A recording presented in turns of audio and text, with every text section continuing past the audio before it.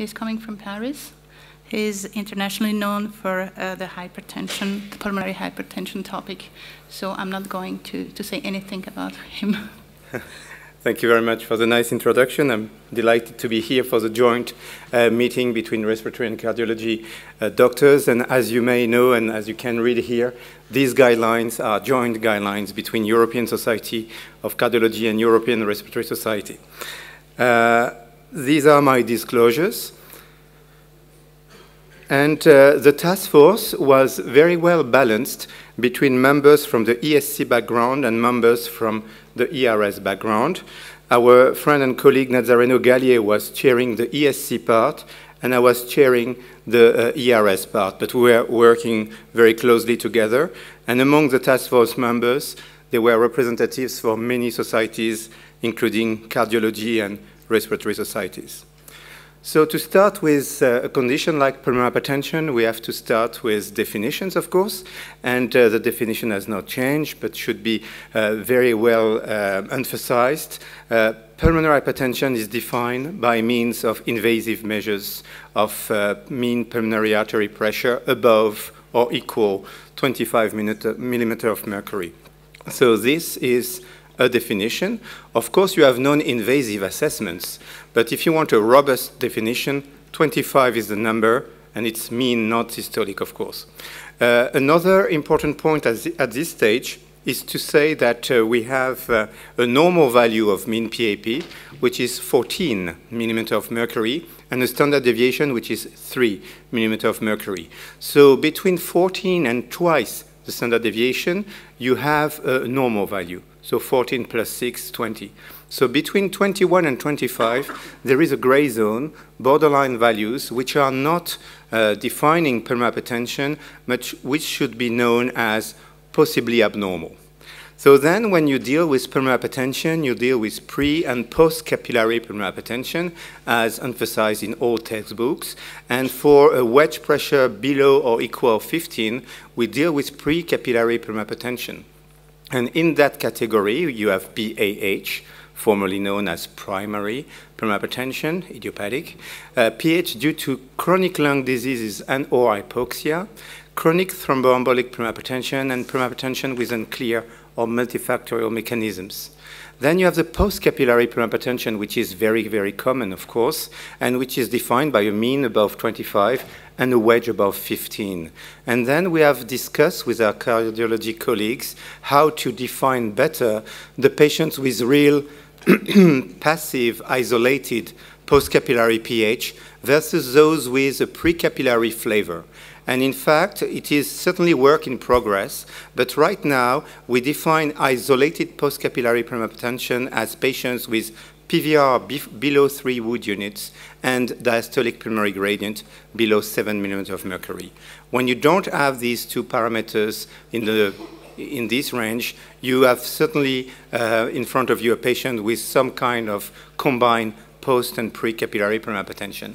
I must, however, emphasize that this is work in progress, and I think at the next um, guideline committee, there will be a, a refinement to establish. After defining the condition, you have to classify the condition. And pulmonary hypertension is not a disease. Uh, it's a group of disease characterized by raised pressure in the pulmonary vascular bed.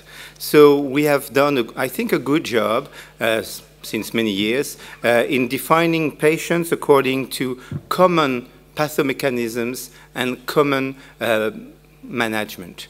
And for example, group 1 PAH is characterized by remodeling of the small pulmonary arteries. It can occur without any cause or with heritable causes, gene mutations, or with associated conditions like scleroderma, portal hypertension, HIV infection, and congenital heart disease. Schistosomiasis is, is common in Latin America, Brazil mostly, but all these patients, despite the different background, have in common remodeling of the small pulmonary arteries.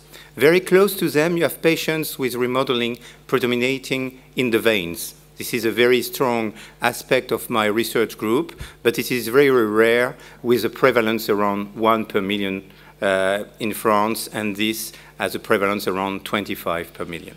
Then you have the very, very common diseases, pulmonary hypertension due to left heart disease with left ventricular systolic dysfunction, diastolic dysfunction, valvular heart disease, and other uh, congenital heart disease. So this is common. This is very common in cardiology setting, and even in pneumology setting, uh, we always have to bear in mind that this is a very common cause of pulmonary hypertension. When you deal with group 1 PH, you have, of course, the congenital heart disease, which are extremely important and which should be subclassified into Eisenmenger syndrome, PH associated with prevalent systemic to pulmonary shunts, correctable or non-correctable, patients with a small coincidental defect, and PH occurring after correction. This is, of course, subspecialist uh, issue, but this is quite important. It's not that simple, patients with congenital heart disease. Then you have the respiratory diseases, very common for pulmonologists, COPD, uh, idiopathic pulmonary fibrosis, etc. Then you have a very important subcause, which is chronic thromboembolic pulmonary hypertension, which is a curable cause of uh, pulmonary hypertension. It can be cured by surgery, but now more and more by balloon pulmonary angioplasty for people who are not surgical candidates. And then you have uh, several other causes which are too rare and too complex to be discussed today. So when you have a patient with a definition, when you have classified the patient in group 1 PAH, you may be, of course, tempted and you have to consider management. And uh, to consider management in the best setting, it's like pulmonary embolism. You have to establish the risk. Risk assessment is key uh, in the initial approach of patients with uh, PAH. And we have done uh, once again, work is in progress, but we have done a first attempt based on literature and expert opinion to subclassify patients into low risk, intermediate risk, and high risk uh, PAH. Of course, here I discuss PAH, so patients who may be candidate for innovative therapies such as endothelin receptor antagonists, PDE5 inhibitors, guanylate cyclase stimulators, and prostacyclin derivatives. So low risk means a risk of death less than 5% at one year, so it's not zero. Intermediate risk 5 to 10 and high risk more than 10. And of course, what matters very much in this risk assessment is the evidence of uh, right heart dysfunction. So you have clinical signs of right heart dysfunction, you have NT-proBNP levels, you have imaging, and you have hemodynamics. Of course, I'm, i have no time in 17 minutes to discuss everything in great detail, but bear in mind that this is expert opinion and it will help you to uh, manage the patient. The patient in the red zone should be treated aggressively and considered for transplantation if needed, uh, and patients with low risk can be uh, managed, of course, urgently too, but in a more um, progressive fashion. So it is really recommended, it's expert opinion, but high class of recommendation. It is recommended to evaluate the severity of PH patients with a panel of data derived from clinical assessment, exercise test, biochemical markers, echocardiographic and hemodynamic evaluations, and you don't do it only once, you do it every th three to six months in stable patients and more often in um, non-stable patients. What is really important is that achievement and maintenance of a low risk profile, the green zone, is recommended as an adequate treatment response for patients with PH, and achievement maintenance of an intermediate risk profile is not considered as adequate treatment response by uh, the experts. And this is something we have emphasized also, although the class of recommendation is lower, of course. So let's treat the patient. So the patient first is treatment naive. First time uh, you see the patient in the community and in your expert center. So PH is confirmed by an expert center. It's not uh, regular cardiology or pneumology management. It should be done in uh, centers with high flow of, of patients. High flow being, of course, different according to the country size, but uh, it's important to have sufficient flow to establish expertise. So then you will propose general measures, supportive therapies, you will do an acute vasoreactivity test. So general measures, I'm not going to list them all, but ladies should not be pregnant. That's a pity, but it's very important. Uh, the patient should be vaccinated.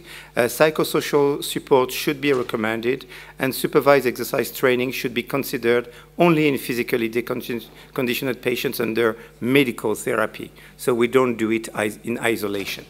So oxygen in the plane, if elective surgery is discussed, it should be done in an expert center with um, epidural rather than general anesthesia, and exercise physical activity is not advised. Then we have the supportive therapies, diuretics for patients with right ventricular failure and fluid retention, oxygen if there is hypoxia or hypoxemia. Oral anticoagulant is less and less recommended, but it should be considered in patients with IPH, heritable pH, and pH due to anorexigen with an INR ranging from 1.5 to 2.5. We recommend to correct anemia, to, to uh, check iron status, and we do not recommend beta blockers, ACE inhibitors, etc. in PH patients. So then the patient uh, may be considered for calcium channel blocker therapy, but only if they do acutely respond to vasodilator challenge. We don't test calcium channel blocker, we test nitric oxide in a center with expertise, which does at least 20 tests per year. The patients who do respond may res who do respond to NO may respond to long-term CCB in 50% of cases only. So when you start CCB therapy, the patient should be followed very carefully. Then you have the patients who are non-vasoactive, 95% of patients, and then the risk assessment is paramount. Either the patient has high risk or low intermediate risk. If he has high risk, it's the kingdom of early combination therapy, including intravenous prostacyclin.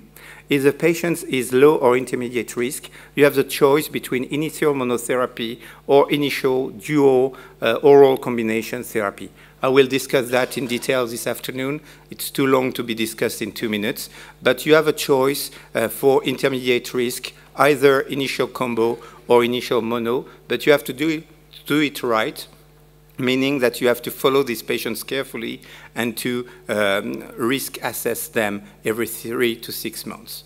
So now you have a patient who is already treated, so patient already on treatment, and you will assess the clinical response. And for the patients who have no good treatment response, you will certainly consider sequential combination therapy Another important point is that if they are eligible for transplantation, they may be considered for a lung transplantation, maybe not listed, but at least considered, because lack of initial response is a marker of future difficulties. Then we will do double or triple combination therapy, and lung transplantation will be recommended soon after inadequate clinical response on maximum medical therapy in eligible patients. So a few words on group two, group three, group four before closing.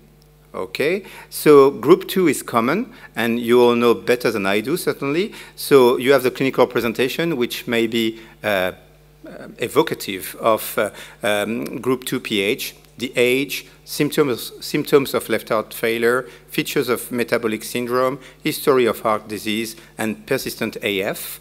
And echo will show you large left atrium and le left ventricular dysfunction, and other features such as ECG or imaging parameters will be evocative.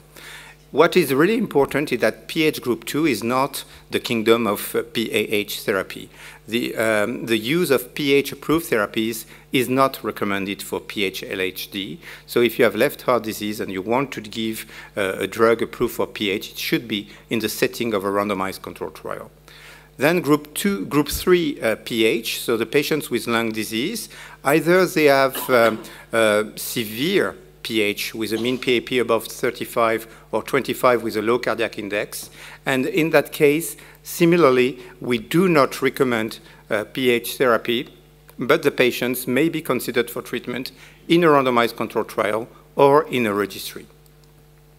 Last but not least, CTEPH chronic thromboembolic pulmonary hypertension, you know that a screening tool of great importance is ventilation perfusion lung scan, which performs much better than uh, CT scan.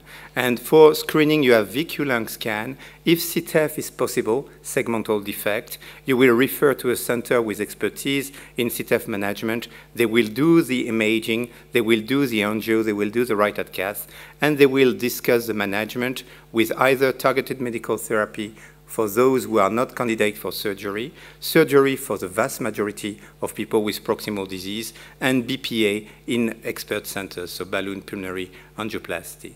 We do not recommend for CTEPH um, uh, screening in patients who have survived PE if they are not short of breath. Okay, so we don't do systematic PE uh, screening. So referral center, it depends on the country. I know I speak today in Switzerland, but uh, in, a, in a country like, uh, like France, a referral center should follow at least 50 patients with PH or CTEPH, and these patients, uh, these centers should do at least 20 vasoreactivity tests, and all referral centers should be able to do phase two, phase three clinical trials. So I don't know if I have one minute to close or yes. So the Ten Commandments, I was asked by ESC and ERS with Nazzareno Galiè to write the Ten Commandments. It's very good to close. So first, right heart catheterization is recommended to confirm the diagnosis of PAH and support treatment decision. Second, vasoreactivity testing performed during right heart catheterization is recommended in patients with idiopathic, heritable, and drug-induced PAH. And if they do respond, they are candidate for calcium channel blocker therapy. If not, they are not candidate. You have to evaluate severity, risk assessment, as I did show. Ladies should not be pregnant. And uh, if you have uh, a patient with PH, he or she should be uh, seen in a center with multi-professional teams. Uh, initial drug monotherapy or initial drug combination therapy is possible in treatment-naive, low or intermediate risk. Sequential drug combination is recommended in PH patients with inadequate treatment response to initial mono or dual combination. And initial combination is recommended in the most severe patients, including an IV prostacyclin. The use of pH-approved therapies is not recommended in patients with left heart disease or lung disease, and surgical endarterectomy is a treatment of choice for CTEPH, and other drug, drug treatment and other BPA approaches are emerging. Thank you very much.